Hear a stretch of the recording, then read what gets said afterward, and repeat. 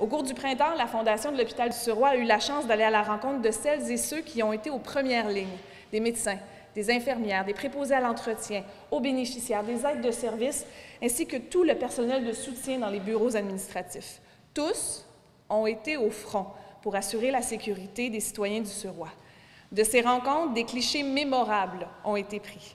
Et en collaboration avec Desjardins, le CIS de la Montérégie-Ouest et la ville de Salaberry de Valleyfield, nous sommes honorés de faire l'inauguration aujourd'hui de l'exposition photo Ensemble, la santé à cœur. Vous avez peut-être remarqué la présence de panneaux près du chalet du parc d'Elfa Sauvé à Salaberry de Valleyfield. Ces derniers permettent un voyage photographique au cœur de la pandémie de la COVID-19 via la première exposition photo de la Fondation de l'Hôpital du Suroît. Cette activité vise à remercier les employés qui se sont dévoués plus que jamais pour le bien-être tout en sensibilisant la population à la réalité sur le terrain, que ce soit à l'hôpital, en centre d'hébergement et en résidence pour personnes âgées ou au site non traditionnel. C'est une initiative qui devait être faite pour rendre hommage à ces gens qui ont travaillé dans l'ombre dans une des périodes les plus euh, tumultueuses, disons, qu'a connu notre système de santé, là, même, je dirais, presque dans toute son histoire.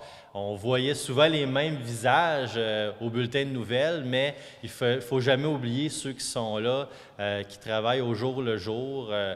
Étant moi-même un proche aidant, c'est n'est pas une situation qui est simple. Et je m'imaginais être un de ces employés-là, travailleurs, travailleuses du réseau de la santé, et je me suis dit, écoutez, quelle belle initiative que Michel a eue. Puis maintenant que la première vague est derrière nous, c'était tout indiqué de rendre hommage à ceux qui étaient vraiment en première ligne, qui ont été au front, qui ont mis même, on peut le dire, leur santé là, euh, en jeu pour pouvoir aider euh, leurs concitoyens. Donc, je suis très, très, très heureux euh, que la ville de Salaberry de Valleyfield ait pu contribuer là, à sa manière à cette belle exposition qui va rendre hommage à des gens qui ont vraiment accompli quelque chose d'exceptionnel. Grâce au travail de la photographe Laurence Chiasson, agissant en titre de directrice artistique pour cette exposition en plein air, les visiteurs pourront découvrir un côté humain à cette pandémie.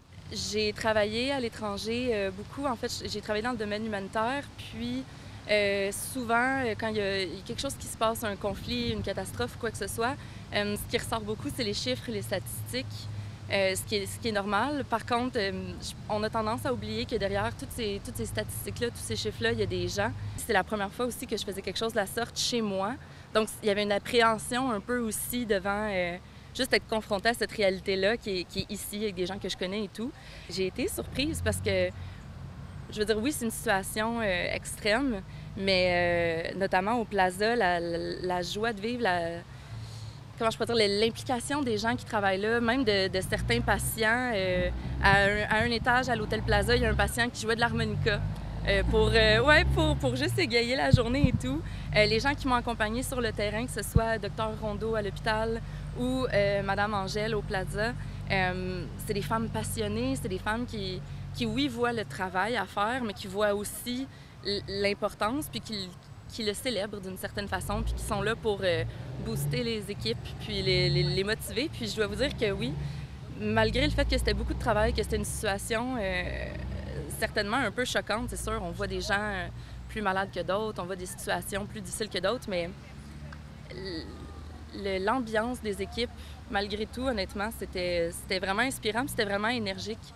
L'exposition urbaine Ensemble la santé à cœur pourra être découverte au parc Sauvé tout au long de l'automne.